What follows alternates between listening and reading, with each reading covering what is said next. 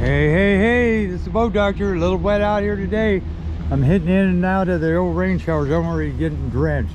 OR624A HG consignment 21 Sea Ranger with T-tops that are removable. Rails, bow rails, stainless.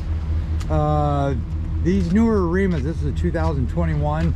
I actually started riding really good and pretty good on fuel and very stable. They do have a little reverse chine to them on here you got a nice heavy duty that nice frame on that. Galvanized trailer swing ton brake fluid i added some brake fluid. A lot of them from factory don't fill them up all the way so i filled it up just to check.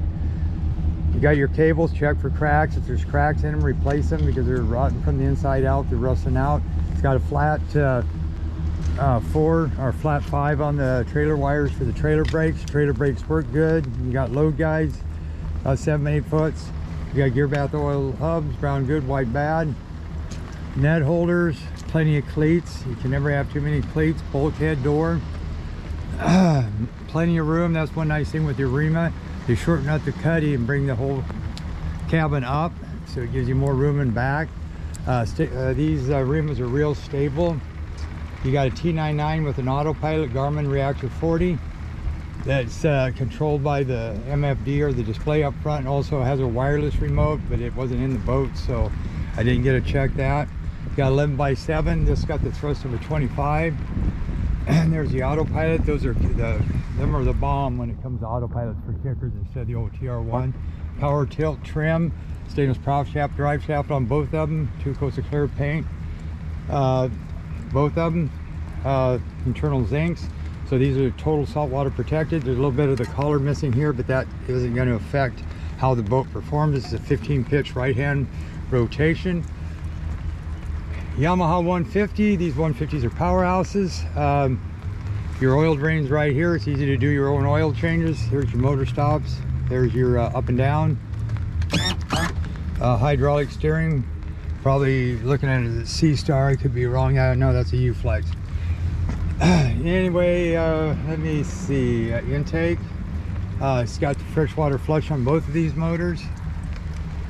That one there, and you got one, I think, on the other right there.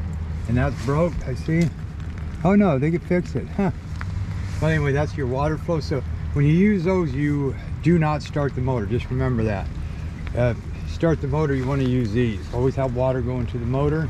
2021, nice clean boat has the pads. This boat comes with everything. He's probably getting out of the boating business um, because, I mean, he's got totes of stuff that goes with this boat.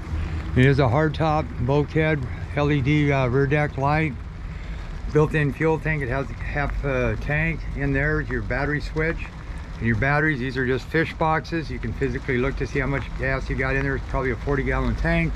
Electric downrigger plugs seats make sure that's buckled up or if you sit on the front seat it's going to flip up on you.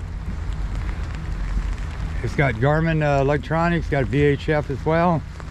Uh, he did it simple that's what you need. You don't need all that fancy stuff but sometimes it's nice if you're into gadgets but very clean boat. All right this is the boat doctor. I'll show you the rest when I'm on the water